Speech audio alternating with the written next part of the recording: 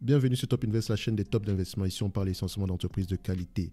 Avons-nous une opportunité d'investissement en date d'aujourd'hui sur la compagnie Delonghi C'est la question à laquelle on va essayer de répondre en se basant sur les états financiers de la compagnie. Donc, je tiens à mentionner ceci. Cette vidéo représente uniquement mon avis et ça ne doit aucunement être pris comme un conseil d'investissement. Donc, la première chose qu'on regarde généralement ici, c'est la stabilité ou la croissance des revenus. Avant même d'y arriver, on doit savoir que faire l'entreprise. Donc, DeLonghi, ici, c'est une compagnie qui fabrique des, équipements électroménagers, notamment très célèbre pour ses machines à café ou machines à expresso. Donc, je vous laisse aller regarder. Vous avez déjà le nom de l'entreprise, donc vous pouvez déjà commencer à faire vos propres recherches sur Wikipédia. Vous allez pouvoir à peu près savoir ce que l'entreprise fait. Mais c'est un business très facile à comprendre, un business familial que j'aime bien et vous allez savoir pourquoi. Maintenant, la première chose que je regarde, c'est la stabilité ou la croissance des revenus. Donc ici, on a une croissance des revenus, on adore ça. Donc dernièrement, on a eu une excellente croissance des revenus parce qu'il y a eu une acquisition. Remarquez ici que la croissance des revenus ici est généralement aux alentours de 3% sur les 10 dernières années, 5% sur les 4% euh, sur les 5 dernières années. Donc, ça, c'est un checkmark, j'aime ça. Ensuite, on regarde l'état de la marge brute ici. C'est bien d'avoir une croissance, mais également, c'est mieux d'avoir une croissance avec une stabilité des marges brutes. Ici, on a une stabilité des marges brutes, j'aime ça. D'accord C'est un checkmark. Sans doute, ici, on a une erreur par rapport au logiciel, mais c'est toujours à aller vérifier. Mais par rapport à une date d'aujourd'hui, j'aime bien ce que je vois. D'accord?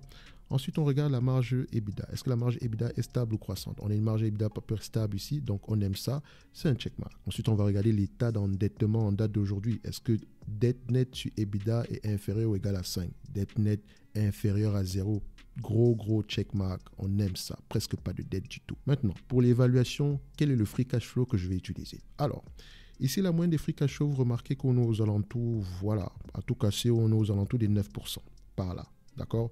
On est aux alentours des 9%. C'est la moyenne. D'accord? Donc, c'est-à-dire que quand on parle de moyenne, parfois c'est en bas, parfois c'est plus haut. Mais ça respecte un certain pattern. Donc, 9%, ce serait la moyenne que je vais utiliser. Actuellement, on a des moyennes aux alentours de 12%. D'accord? Donc, je suis déjà assez pessimiste en prenant 9% ici. Donc, 9%, c'est ce qu'on va utiliser pour notre évaluation. Alors, pour les ratios ici, la moyenne est de 15,58. Donc, on va se dire 16 ici. Donc, Ici, vous allez remarquer que la moyenne va se situer à peu près à ce niveau-ci. D'accord? Donc, je vais utiliser comme ratio 16, 20 et 22. Vous remarquez ici que l'entreprise a tendance à arriver à peu près à ces niveaux-là. 16, 20 et 22, c'est là où se situe notre valeur. D'accord?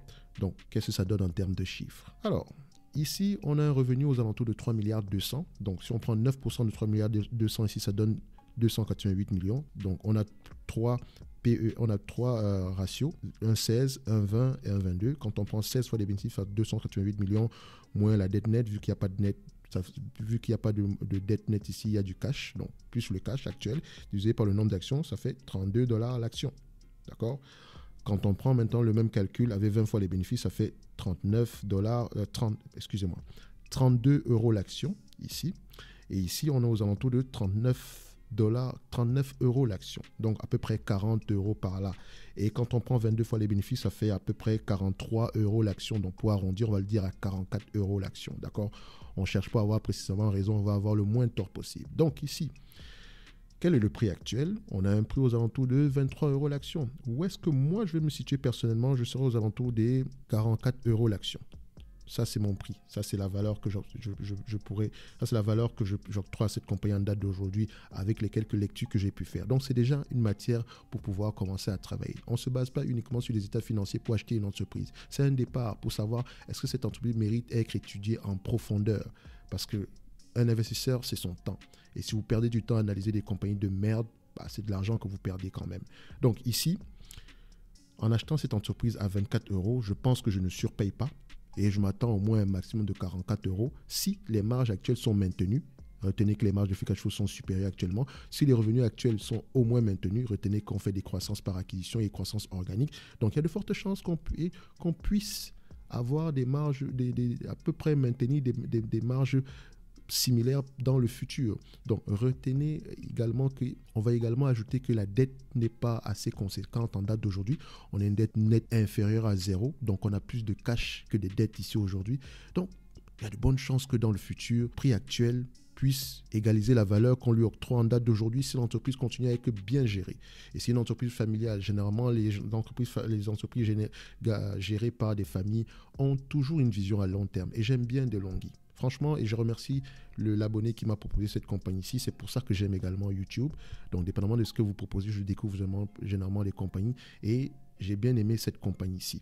Donc, je la verrai bien soit être euh, acheté, racheté par une autre, ou bien continuer à faire ses propres acquisitions. Donc j'aime bien ce que je vois ici. C'est un gros, gros checkmark et ça représente une opportunité d'investissement. En attendant la lecture des rapports financiers pour confirmer tout ceci. Donc, c'est-à-dire confirmation des marges stables ou plus élevées, donc entre 9% et plus que 9%, confirmation d'un potentiel de croissance futur et également confirmation de la stratégie par rapport à l'endettement. Donc, on aime bien ce qu'on voit, mais également, il fallait préciser que c'est une entreprise qui distribue à peu près un dividende aux alentours de 3,51%. Donc, ce n'est pas mal en attendant. Donc, dites-vous que en date d'aujourd'hui, si l'entreprise vous reverse la totalité de ses free cash flow, d'accord, en termes de, de dividendes, vous aurez un rendement aux alentours de 7,8%. Ce qui n'est pas mauvais non plus. Donc, on ça ne veut pas dire qu'on va vous reverser la totalité des free cash flow. Donc ici, on peut déjà se dire qu'on a une opportunité d'investissement au prix actuel. Donc vous pouvez également remarquer que c'est pas comme si elle n'a jamais atteint les 40 dollars, les 40 euros. Donc elle a déjà atteint les 40 euros par le passé, donc c'est totalement possible d'aller plus loin que ça, au-delà même. Donc, vu qu'on est des investisseurs long terme, le plus important, c'est d'abord de savoir si le business model est de qualité. Et ici, je pourrais dire oui, mais ça, c'est selon mes lectures. Donc, faites vos propres recherches si cette compagnie-ci vous intéresse. Moi, personnellement, elle m'intéresse. Est-ce que ça veut dire que je vais l'acheter personnellement? Je dirais non. Pourquoi est-ce que je ne vais pas l'acheter? Eh bien, parce qu'on ne peut pas acheter toutes les belles entreprises au monde. Voilà, mon cash n'est pas infini non plus. Donc, mais c'est une belle entreprise pour qui voudrait approfondir ses propres recherches dessus. Donc, je vais la mettre dans ma watchlist. C'est l'une des meilleures découvertes depuis le début de l'année. Donc, je suis bien content de l'avoir découverte. Ce qui est sûr, je vais la suivre avec insistance. Elle me rappelle vaguement une entreprise qu'on appelle Midleby, ou c'est Mid, on appelle M-I-D-D, donc c'est son ticker symbole. J'arrive pas bien à prononcer son nom, donc je pense que ça s'écrit comme ça. Euh, Midleby, d'accord Comme ça, donc M-I-D-L-E BY.